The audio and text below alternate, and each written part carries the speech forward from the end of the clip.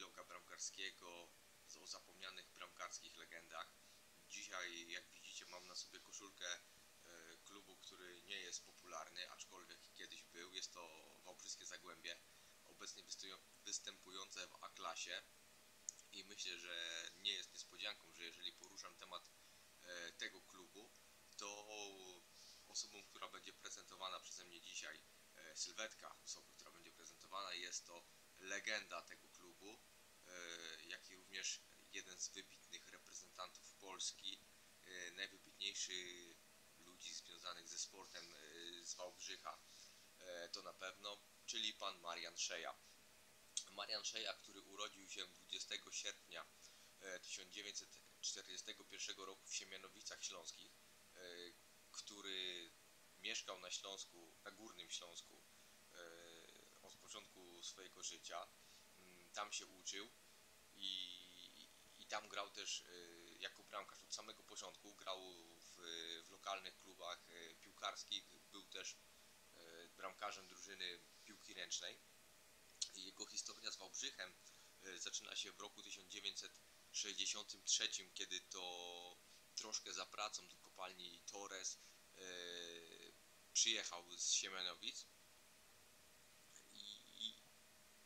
i, się y, został w sumie ściągnięty jako młody chłopak y, obiecujący jako bramkarz y, z myślą o grze w ówczesnej drużynie Torres Wałbrzych, która grała na poziomie trzeciej ligi. Mm, po roku gry w trzecioligowym Torrezie Marian Szeja awansował z tą drużyną do drugiej ligi i, i było fajnie. Rok po tym awansie, mm, inaczej, może ten awans i postawa, jaką e, Marian Szeja zaprezentował w bramce wałbryskiej drużyny, mm, zaprocentowała tym, że został on powołany do reprezentacji młodzieżowej. Pierwszy mecz w tej reprezentacji rozegrał w 1964 roku. Przeciwnikiem był zespół Turcji a reprezentacja Polski z Szeją w bramce wygrała 2 do 0. Rok później, w 1965 roku, nastąpił debiut w reprezentacji seniorskiej. E, był, przeciwnikiem był zespół Finlandii. E, debiut e, odbył się w październiku na stadionie Szczecinie, gdzie Polska wygrała z Finami 7 do 0. Mm, następne takie wydarzenia w karierze reprezentacyjnej pana Szei przynios, y, przyszły w roku 1966, kiedy to w styczniu w takim dwumeczu Polska zmierzyła się z y, mistrzem świata z 66 roku, czyli jeszcze przyszłym mistrzem świata, e, reprezentacją Anglii. W Liverpoolu e, był wynik 1 do 1, gdzie Shea był bardzo, e, bardzo wysoko oceniany za swój występ. Następnie był rewanż na Stadionie Śląskim w Chorzowie, który niestety, niestety dla nas, niestety dla bohatera dzisiejszego odcinka Anglicy wygrali 1 do 0. W tym samym roku też reprezentacja Polski wyruszyła na tournée po Ameryce Południowej, jakkolwiek to nie brzmi. I tam reprezentacja naszej, nasza reprezentacja, reprezentacja Polski zmierzyła się ze słynną Brazylią, w składzie której był słynny Pele. Mm, mecz odbył się jeszcze na słynniejszej Marakanie, więc można powiedzieć, że ładunek emocjonalny przed tym meczem zapewne był ogromny, o czym zresztą bardzo często pan Marian Szyja opowiadał w różnych wywiadach. E, Polska przegrała na Marakanie z Brazylią 1 do 2, ale sam Pele nie zdołał pokonać naszego bramkarza.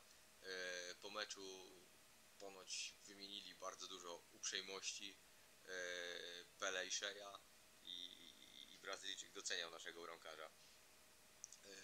Dwa lata później, w roku 1968, e, Torres Wałbrzych został po raz kolejny przemianowany. E, tym razem mówię, że po raz kolejny, bo historia zmian nazwy tego klubu e, to nie była tylko jedna zmiana, ale nieważne. W 1968 roku Torres został okrzyknięty Zagłębiem mm, Wałbrzych, a miało to, zbiegło się to w czasie z awansem drużyny do do eks obecnej ekstraklasy, do pierwszej ligi piłkarskiej. W sezonie 1970-71 ta drużyna zajęła trzecie miejsce yy, w polskiej elicie i awansowała do rozgrywek o Puchar UEFA. Warto też nadmienić, że pomimo tego, że Zagłębie Wałbrzych jest klubem obecnie mocno zepchniętym z każdej chyba możliwej sceny, czy, czy to piłkarskiej, chociaż grają sportowo na tym samym poziomie co Górnik, czyli w klasie.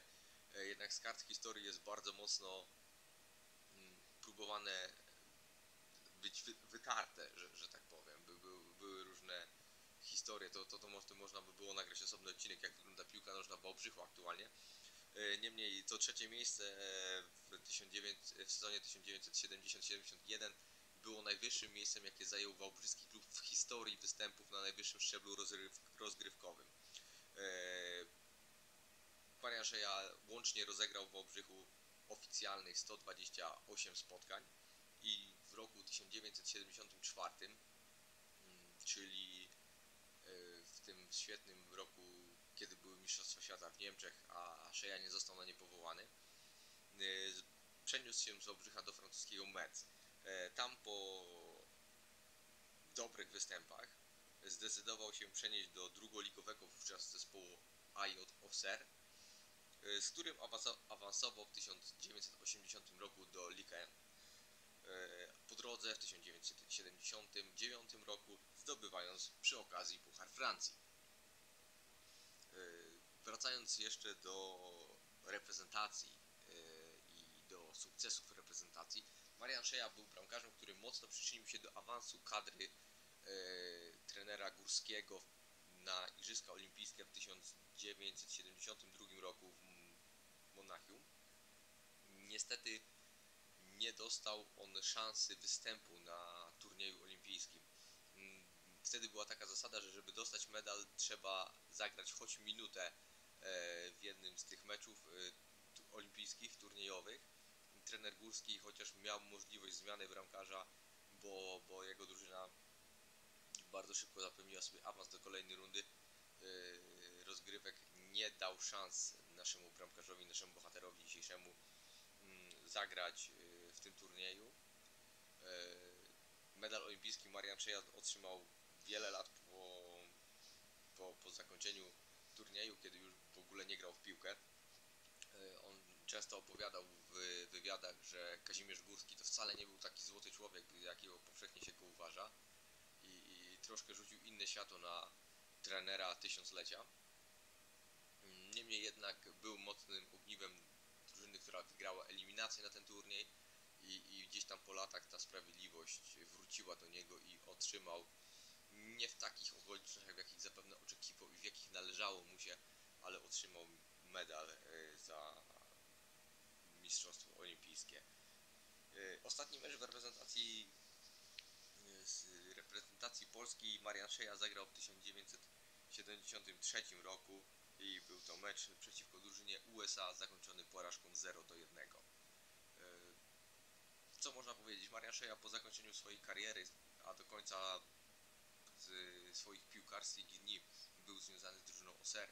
Wrócił do Wałbrzycha, mm, tutaj mieszkał, e, pracował troszkę z klubami lokalnymi, czy to z reaktywowanym w latach późniejszych Zagłębiem Wałbrzych, e, czy, czy z Wiktorią Świebodzice.